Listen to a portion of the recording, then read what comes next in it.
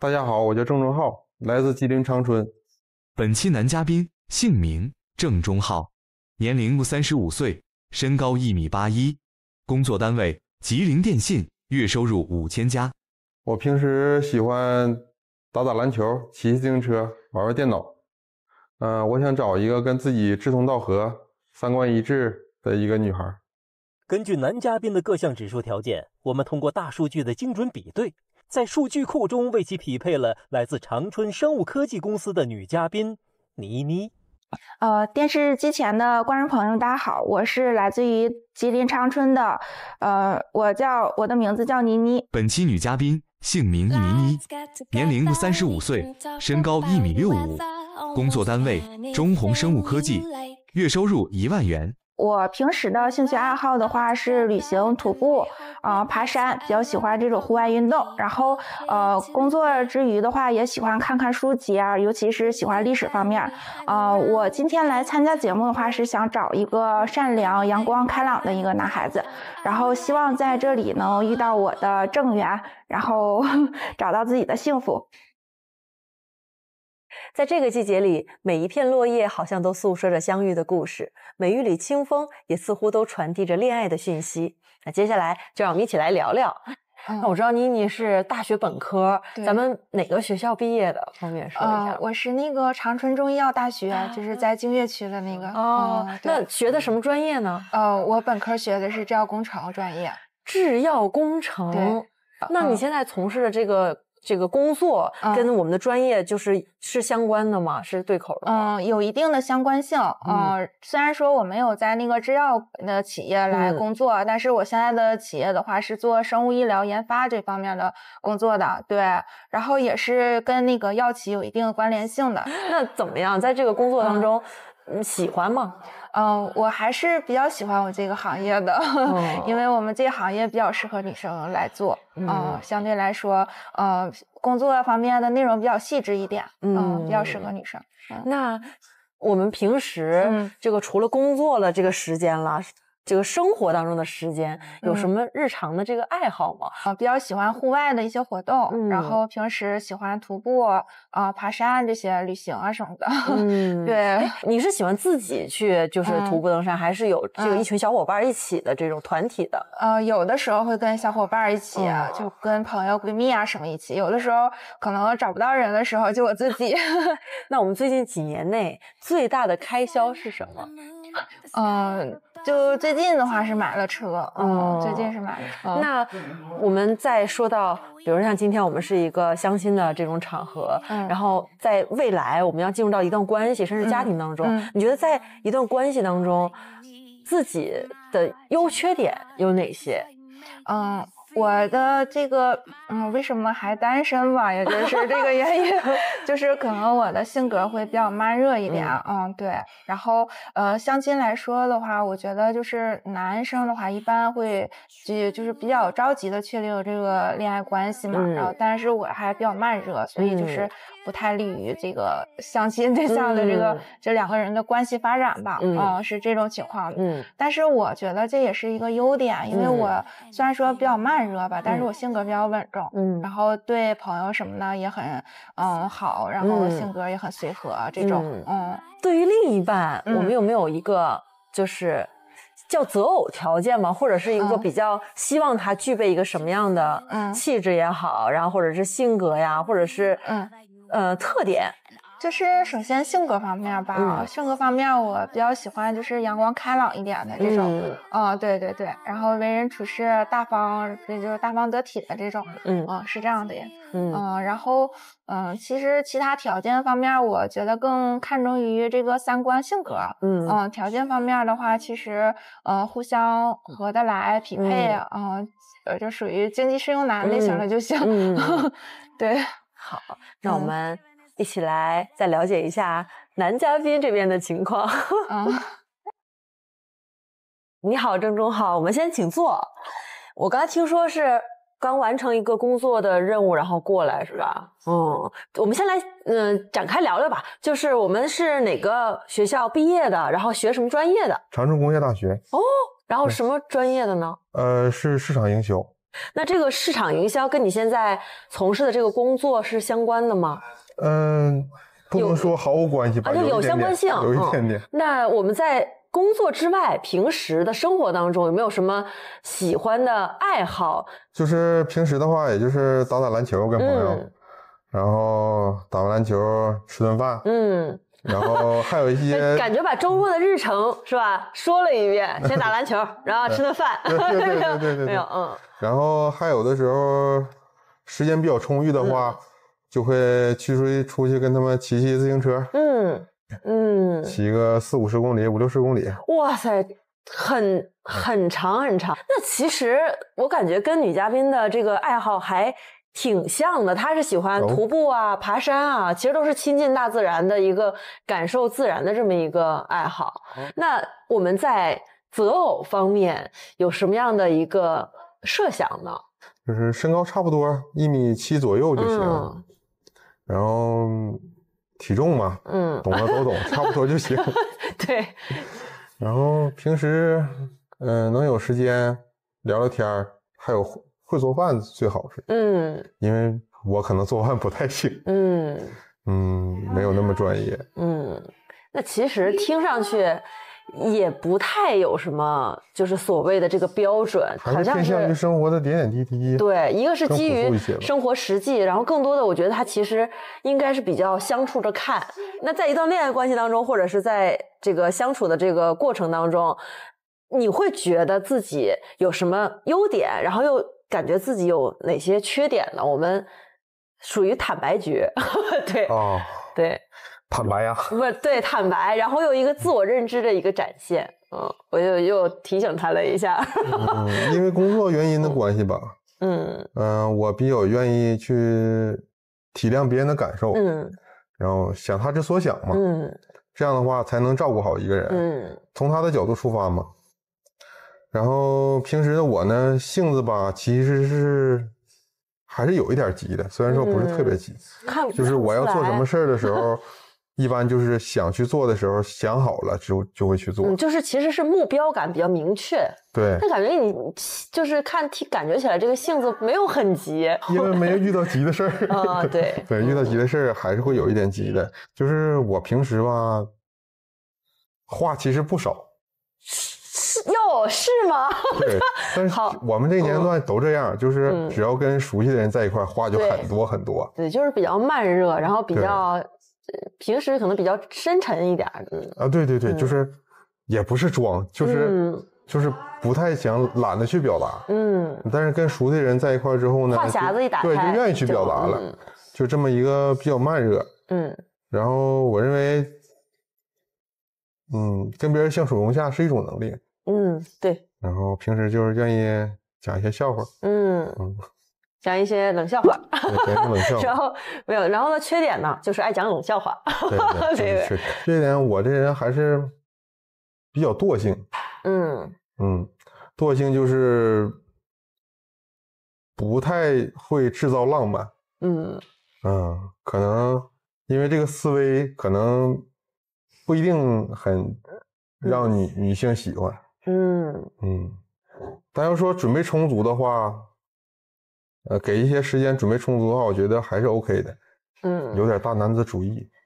那要是有的女生可能也说，我觉得浪漫也不是那么重要，还想再听听，是吧？我们再说两点呢。那就还有就是陪伴了呗，主打一个陪伴呗。太忙了是吧？对，啊陪伴的时间确实会少一些，因为工作性质的原因，可能周一到周五的话，七八点钟下班，十一二点嗯，都是有可能的。哎，嗯、这个的话，确实是我的一项，呃，软说软肋也不能说，应该算是一个嗯弊端吧。嗯嗯，因为女生嘛，可能有些女生就像你说的，嗯可能我不要你多少的情绪价值，但是陪伴很重要。嗯嗯，我认为这点是我的比，嗯，不太不太理想的一个地方啊。这缺点融入到生活中之后，就感觉很不方便。还是很不方便的嗯啊。假设一个场景啊，如果比如说，呃，女朋友生病了，然后其实很需要你在身边的，但是这个时候呢，你又真的是比如说走不开，没有办法陪在她身边，那你会怎么做？嗯嗯，如果能请假嗯的话，嗯，那我会尝试请一下假。哎，那这不错，这真不错啊如。果说真的是人真的是赶不回来，嗯在外地的话，嗯我觉得呃打一打视频呐、呃嗯聊聊天，安慰一下子。嗯然后嘛，女生嘛需要安全感嘛，嗯那就承诺一些我回去之后就能办到的事儿，嗯，然后我会去做。就是最近几年你为自己花过的最大的开销是什么？开销最大的开销，那应该就是买车了。啊，是吧？嗯跟女嘉宾有政策也比较好对，嗯，，对，就寻思，嗯、换一个换一个车。嗯。好，那感谢男嘉宾的作答。哎，那我们就去跟女嘉宾一起会合吧。那刚刚呢，跟男女嘉宾分别进行了提问，然后有了一些初步的了解，能感觉到男生是一个沉稳细致的这么一个性格，那女生呢也很细腻，然后又很温和。但是我担心的是啊，女生是一个比较呃柔弱、这个温和的这么一个状态，他其实能感觉到是挺需要另一半的这个陪伴的。但是男生在聊天的过程当中也提到，说自己可能因为工作的情况比较忙，会。有缺少陪伴的这样的一个情况，那我其实也担心女生在接下来的相处当中，会不会因为缺少陪伴而产生两个人的这个摩擦或者是矛盾了？那基于这样的情况，我们进入到下一环节，继续观察。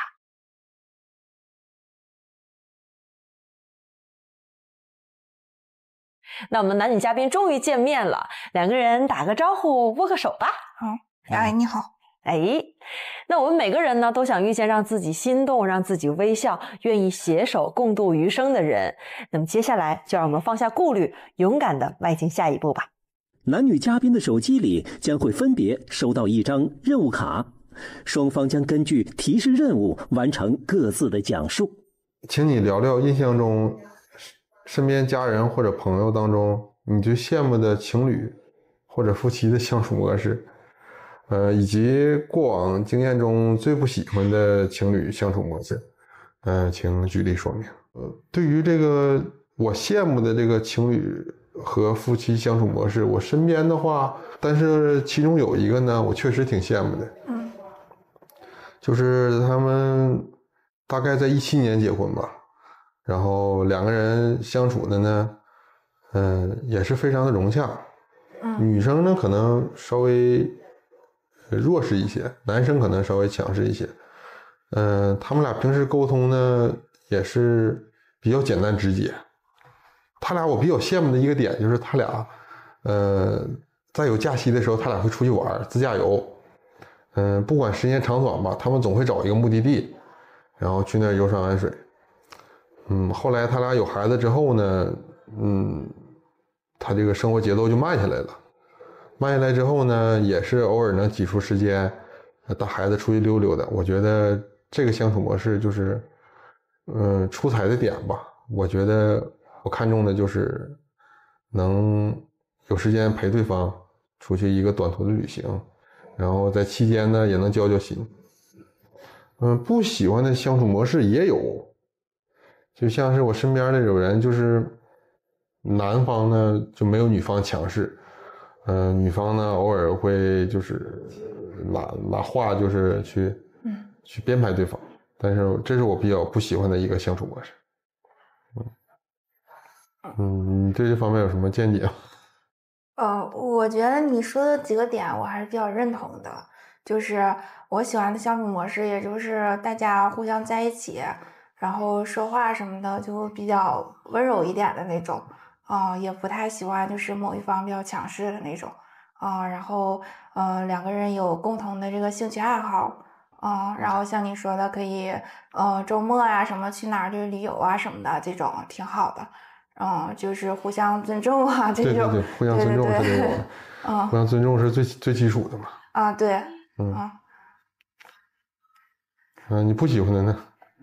我不喜欢的就是，呃，语言或者是脾气上就是比较有点暴力的那种，啊，就包括说话上也是的那种，我不太喜欢。就是比较横的，啊，对对对，因为我觉得我不在乎 hold 不住别人感。受的那种的。对，啊，对对是这样。那那确实，你这样人还还是嗯嗯比较比较少。嗯，呃，反正大概就是这样这样吧，就是也比较简单，就是，嗯，对，那我问一下，你那个你父母嗯。相处方式是啥样？嗯，我父母他们就是那个时候，就是我感觉就比较传统的婚姻嘛，然后就相亲介绍，然后两个人就结婚了。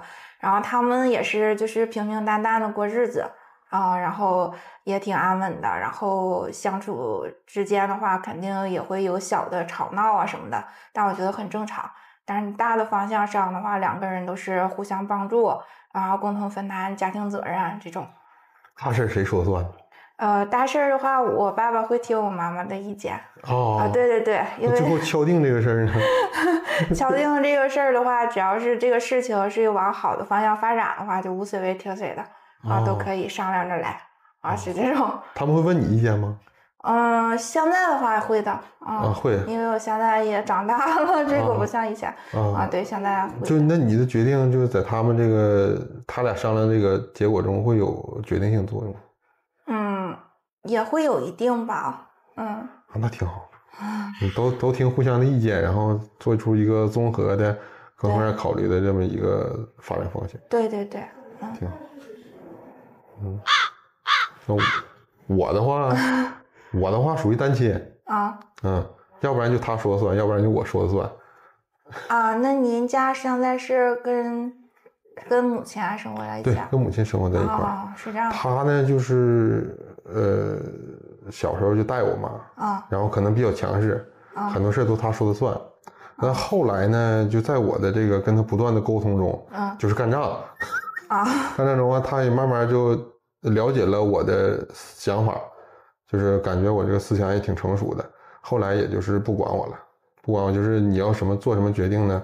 呃，太大了跟他说一声，啊他要是愿意掺和就掺和，他要不愿意掺和呢，他也不管。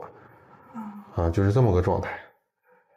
嗯那可能就是，嗯、因为你现在也那什么了，也长大了，然后可能父母这边的话，更多的就是还是尊重你的意见，啊，对，他也不可他能犟不过我过多的。，对，不可能过多干涉什么的。对对对对，干涉也没用，啊嗯就大概就这样。啊，那你是跟母亲一起生活现在对，啊？那还挺好。咱们看看第二个问题。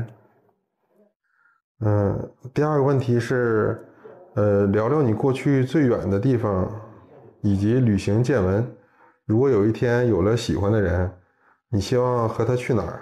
有哪些畅想？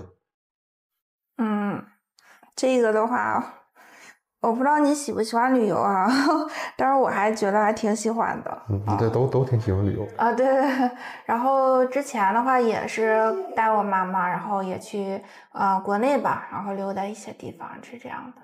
你，你感觉跟他最开心的那次，或者是，嗯、啊比较你比较印象比较深刻的，跟他去的哪块儿就特别美，或者是旅行特别愉快的过程嗯，我觉得印象最深的是那个张家界那边啊？张家界啊，对对对，啊，那边很多电影都在那儿拍的。对《阿凡达》取景地啊嘛，对对对嗯，对对，那块儿的景色就是给我感觉就是有一种让人意犹未尽的那种感觉，就还想去去了还想去的这种，对哦，就是每每次去的时候都就感觉，啊。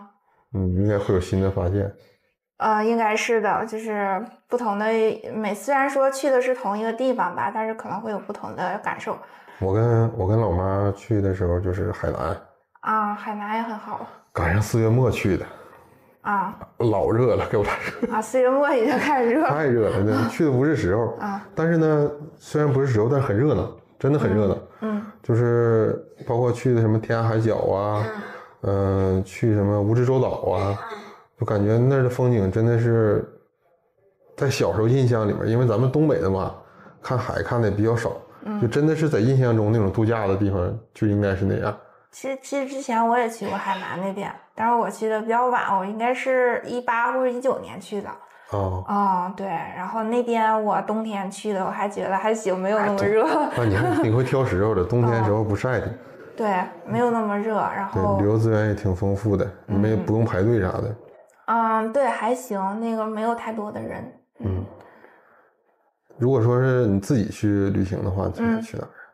我自己去旅行，我 我其实是很想自己自驾游，就是环那个，进藏线呢？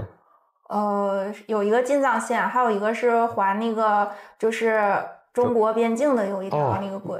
我也有个自驾游的打算，但是得是有一个很长的假期，可能呢，再加上请假，可能会有空出来这么一个时间。但我我的我的建议还是西藏那个地方吧，我觉得还是高原反应应该会很严重。像我这种体格，我还是想去新疆，新疆真的很美。对，新疆比较大，然后对对对，对，且新疆的风景，我觉得它更多的是那种啊山呐、水啊什么的，可能跟西藏不太一样。西藏可能更多的是山，嗯，嗯，你是说没有去过西那个新疆，不知道中国有多大吗？它有南疆和北疆，然后对，所以就是我其实我那那个时候也挺想去那个新疆的哦，那边是对对是那，样的，嗯。那应该挺有意思。哦，我这边对男孩儿的印象的话，还是嗯、呃可以吧。然后第一印象感觉形象什么的还行，然后有一些观点还是挺有共同点的，就是挺挺有默契的。然后嗯，但是他说到他的家庭这一块的话，我觉得还是有一点。嗯，我之前没有想到，因为看他的形象什么的，挺阳光的一个男孩，嗯，然后，嗯，这一点的话，我觉得综合考虑下来，可以打七十分吧。今天第一次见女嘉宾呢，感觉她是一个很文静、腼腆的人。嗯，我们今天因为这个工作原因来的晚了一些，可能会对我的这个他对我的评分吧，可能会下降一些。嗯，我对他的评分呢，如果说一到一百分的话，我觉得我可以给他打八十二分左右。对于这个旅游的设想，出去旅行的设想，我觉得还是很贴合的。嗯，可以加五分，大概就是八十七分左右。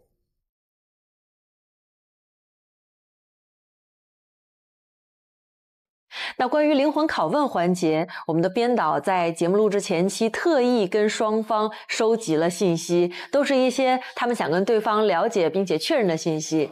那么接下来我们进入灵魂拷问环节，要么真实回答，要么真诚回避。请听第一题：谈恋爱或者相亲的时候，你首先最在意对方的哪一项条件？我们有选项的啊，A 外表。B 经济条件，C 家庭条件，D 学历和工作，E 以上都有，请作答。看谁先说？先去。呃，我我会综合考虑先下那个外观，就是啊，外表啊 A，他就选的时候是 A 啊，外表。那男生呢？嗯，赞同。啊，赞同。哎，在这一点上怎么这么一致呢？就是听起来很像外貌协会呢，要不要展开说说？呃其实说这个外表的话，其实在我看来就是一种眼缘儿，嗯就是可能不是说的跟那个好不好看啊什么的有关系，但是一定要是呃看着就是很顺眼和很眼缘这种。嗯，这样就好像跟这个、跟自己气场比较合一些。对对嗯，那男生呢？啊，我觉得第一眼既然看着身体，就会告诉你到底喜不喜欢。嗯嗯，既然你看着都不烦的话，我觉得嗯就会好很多。嗯，哎，这说的都挺像的啊。那我们接下来进行第二题，以下哪一点是你最不能忍受对方的？我们听选项啊：A. 脾气任性；B. 抽烟喝酒；C. 花心开放；D. 不够孝顺。哎，请作答。这这次还是女生吗？我可以，我可以先来，我可以先来。这他想好了，这回是。我觉得孝顺应该是咱们中华人民的传统美德，嗯所以说这个肯定是第一点，这个是毋庸置疑的。啊，最不能忍受对对方，对我来然后说选择的是不够孝顺。对嗯，那女生呢？最不能忍受什么？我觉得这个好难选，是都不行，是不是？呃，也行，那咱来一个 E 以上都有也行。啊，对，因以上为都有我觉得嗯这几个我都有点儿那个接受不了，因为孝顺的话反映的是人品嘛，嗯对，肯定是很重要。然后呃，像抽烟喝酒，我觉得适度的是这种，嗯嗯然后还有一个是那个花心开啊放，对然后任性，脾气任性。对，嗯，这这个有点接受不了。对，一听就 那不用了。这那我们进入下一个问题，请问你如何看待男女恋爱期间的同居关系？我们有几个选项：A 完全不接受；B 可以接受对方有同居史，但是我不会啊；C 可以接受，双方就是看感觉了，就是刚才女嘉宾说这个眼缘了。第四个持保留意见，我们作答一下。这个问题咱们就是说，才问到第三题，就这么是吧？上分量了。看，这这时候就我个人我个 都说人觉得吧，都不说，难道是要我回答吗？你们都不说话。我个人觉得吧，这个这个问题啊，确实挺尖锐的。嗯，嗯，怎么说呢？我还是持保留意见吧。嗯嗯，这个不好说。确实不那 女生呢？呃，我是完全不接受，啊，完全不接受。而且我嗯也不希望对方有这个经历。嗯，那嗯其实。呃，看上去选项选的不一致，但其实我觉得多多少少可能这中间还是有一个互通的关系，因为男生是保留意见，他没说啊，他他就说不好说。我觉得可能更多也是想想着，因为可能是男生觉得这样就是你你更尊重女生一点，然后女生是出于自己的安全感这种出发，是吧？嗯，有一定的关系吧，嗯但是也不完全是，可能我就思想我我比较保守一点。好，那我们还有一道题可以继续来听听两位的这个回答。如何看待当今多元化的社会环境下一对多或者多对多的恋爱？哎呀，这个是不是？我们看选项，一是坚持一对一的恋爱，第二个是可以一对多，多方了解嘛，第三个是多对多，都可以彼此寻找，第四个是保留意见我我感觉我应该选 A，、啊，这时候不保留意见了。对，因为我觉得这个两个人相处嘛，嗯就应该拿出全部的诚意。嗯，嗯，那是从这个出发点对，来是展现完全的自己，一对一才能完全展现自己嘛。充分了解，然后拿出绝对的诚意。这个也对，这也是一种对对方也是对自己的一种负责的态度。没错。嗯嗯，那女生呢？哦，我也是选一。我觉嗯得既然有这个意向相处的话，嗯还是要认真对待的。嗯嗯，是这样的。嗯，嗯，好好的。那听起来两个人在恋爱观念方面是非常一致的。嗯哦，刚才这个就是互相的讨论这个话题的时候，我觉得男嘉宾的有些观点的话，还也是相对来说比较传统，然后也挺认真的这个恋爱态度什么的。然后，嗯，可能我比他的观点就是相对来说比他更传统一些，我是完全不能接受那个呃，就是同居啊这些这些，呃，婚前同居这些观点。然后，嗯，其他的剩下的这个恋爱的模式啊，这种我也觉得，如果要是互相有意向的话，是应该一对一的这种相处，然后认真对待，呃，是这样的。如果要是，嗯、给这个男嘉宾的回答打一个分数的话，我觉得可以打到嗯八十分吧，哦，是这样的。呃，刚才那个灵魂拷问环节呢，说实话有有一点有点问到灵魂灵魂深处了。我觉得女生这几个答案呢，在我看来呢，是挺符合我的三观的。呃，不管是他从这个一对一的这个关两人关系，还是说这个对于这个两个人的价值观，我觉得跟我挺契合的。如果一到一百打分的话，我觉得九十分是我的答案。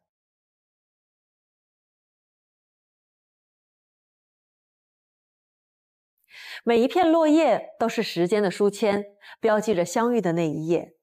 它或许不是华丽的终章，却是蕴含着无限可能的序曲。那序曲的最后，他们将如何抉择呢？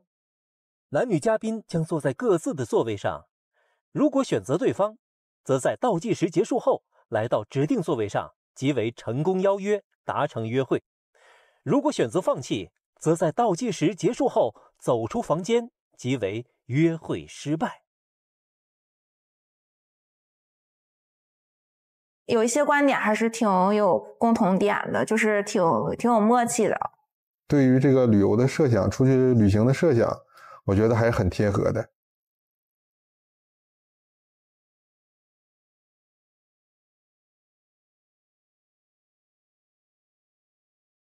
相亲不去。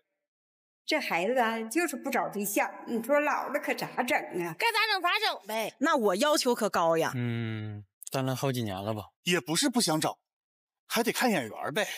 出来玩最重要的是你得出来看眼缘，那你不得看吗？这人生路上啊，鞋要合脚，人要合拍。想要脱单，你就得多见见，多聊聊，管他有枣没枣，先打他一杆子。找到我英子，你今天是单，明天就是双，还寻思啥呢？赶紧来报名啊！吉林广播电视台倾情打造真实情感交友节目《吉祥友谊》，拒绝作秀，高效匹配，姻缘有你，选择最合眼缘的另一半，拥有归属感和幸福感。单身男女交友火热报名中，报名热线：幺八幺八六八五六五零八。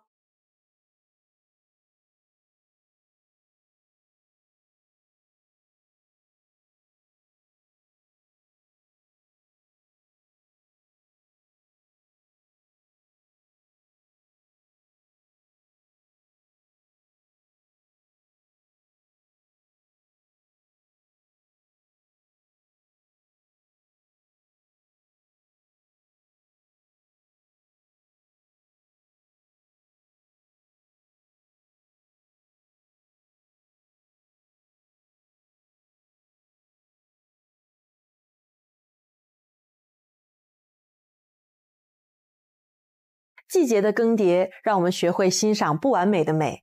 也正是这些微小的遗憾，铺就了通往真爱的蜿蜒小径。在这里，仍要祝福今天的男女嘉宾，在未来的人生道路上，能够继续绽放属于自己的活力与精彩。